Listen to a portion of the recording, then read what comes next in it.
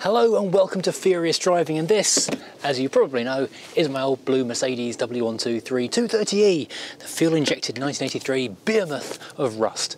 Now this hopefully, fingers crossed, will be the last time I wheel this out and take an angle grinder to the floor and crack out the welder because as far as I know, fingers crossed, to find some wood to touch or something, all the lucky dip things, uh, this big hole just here and it's quite a big hole, has to be said, is the last patch of rust remaining in the floor of this car. After this, I can pack up the welder and start working on the brakes. So that next time I roll it back up the drive, I'm not having to stop it on a block of wood. I can actually hit the pedal. That would be nice. Right, so let's get the wheel off, get it in the air, and go from there.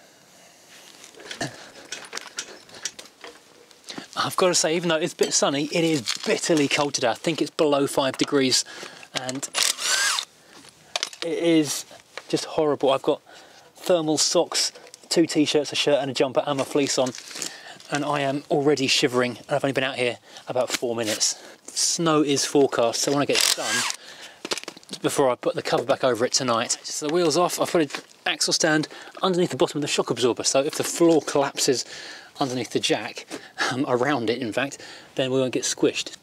So let's look inside here. This is pretty awful, to be perfectly honest. It's crumbling up, crumbling up, crumbling up, crumbling up, all the way up there. And as we come around here, it's uh, pretty terrible up there as well. I knew it was bad around here, but I didn't realise quite how bad it was up inside there as well. This is quite a lot more work than I was expecting. Uh, I better get the grinder out and get going. Now, on the last episode, some people did point out I'd left off like an inside fillety bit uh, behind there. Um, not particularly concerned because I'm never going to use this jacking point. I'm only ever going to use the floor jacking point and it's quite strong underneath there with lots of very thick metal all around it. Now fortunately I've got these really handy little magnetic torches which are so handy for just clamping into places up, or awkward places really. And you can see what you're doing then. There are Amazon links to those below the video um, it's an associate link, Amazon Associate, so if you buy that, I get a few pennies and it helps fund the channel.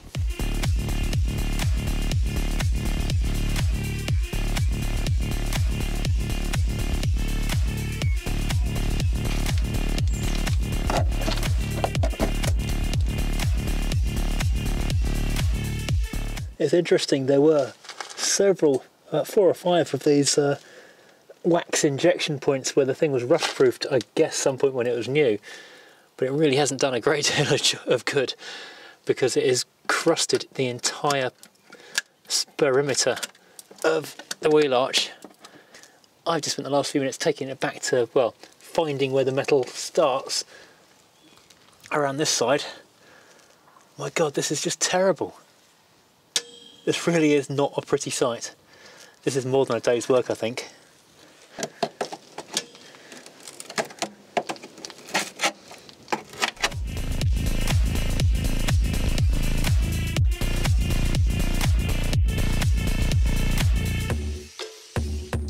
Right, so after quite a while of grinding and actually getting a little bit bored of grinding, I noticed there was, uh, well, some bare metal just here. It wasn't even a hole, it was just bare metal with a big flap of underseal. So I thought, oh, wouldn't it be quite handy to just take that back to metal so I can paint that, get a lead on that one before it starts rusting anymore, put the grinder on it, and look what happened.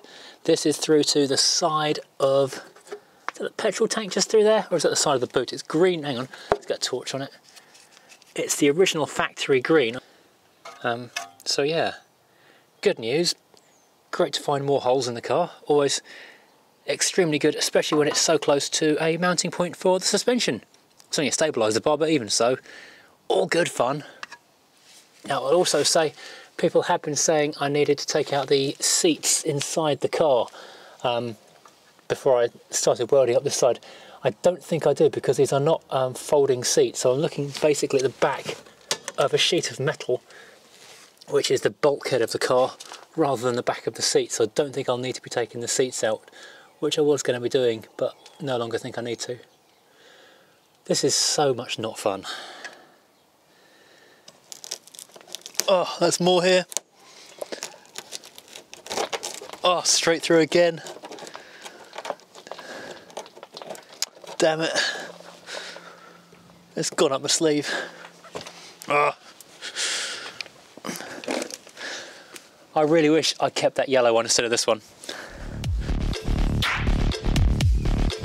Oh, dear me.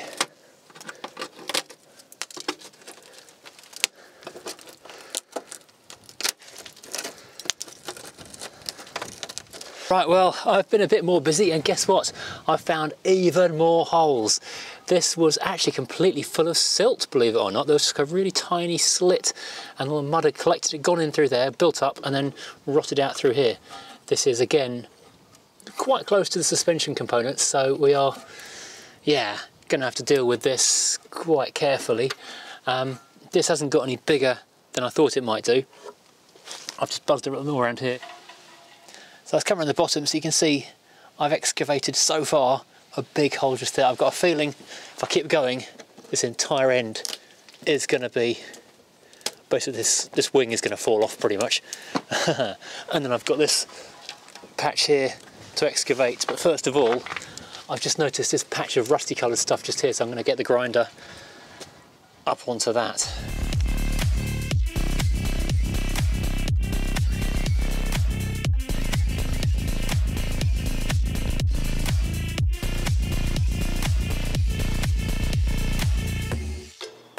Well, guess what? It gets better and better. I thought I would just start skimming off this surface rust on the wheel arch it's a bit unsightly. I'll put some rust-proof paint on it just to keep it nice because it like, might actually snow tonight.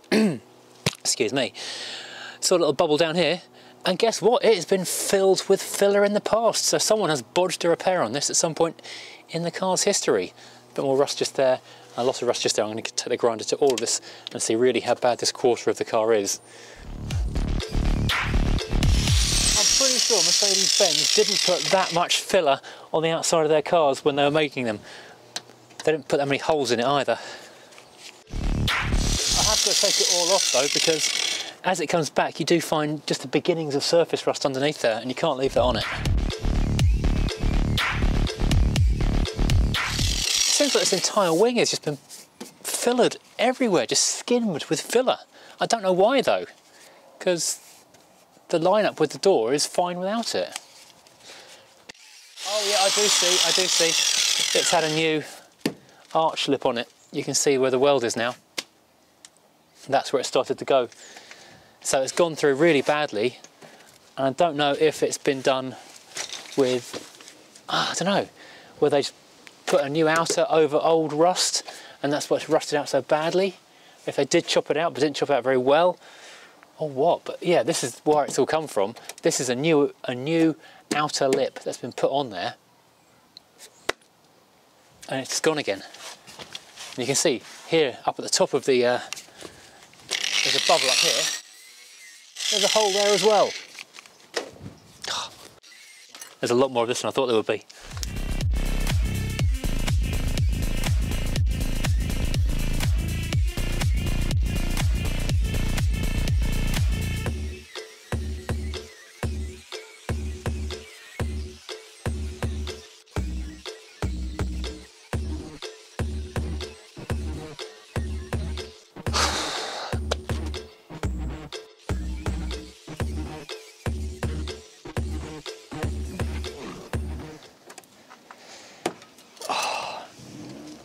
Well, guess what? There's more. All along here, as I suspected, is as frilly as, I don't know, a pair of old lacy pants or something. It's completely gone all up in this corner here. This is gone totally up inside there. Um, yeah, there's not really any more rust than that and that on the wing itself.